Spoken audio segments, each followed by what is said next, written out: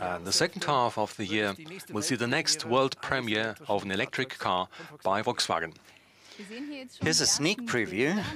It's still wearing camouflage, but one thing's clear, we'll be seeing additions to the ID family.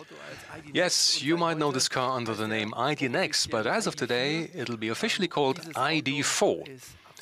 It's a great car with super dynamic styling, the first electric SUV based on Volkswagen's state-of-the-art modular electrification toolkit. Can you give us a glimpse of what's under the hood?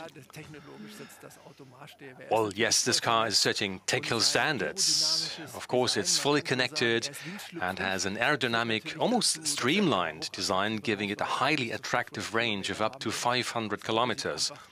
This car just looks great, and I'm sure many customers will love it. We want to ma manufacture it in China, Europe, and the US. It's definitely something for customers to look forward to.